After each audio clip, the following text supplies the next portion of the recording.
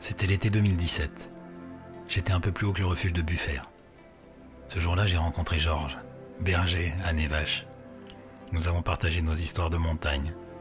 Je me rappelle bien lui avoir raconté que la Clarée c'était mon petit paradis, que j'étais dans un autre état quand je me retrouvais dans cette vallée. Il était là pour aider son fils, jeune berger évidemment.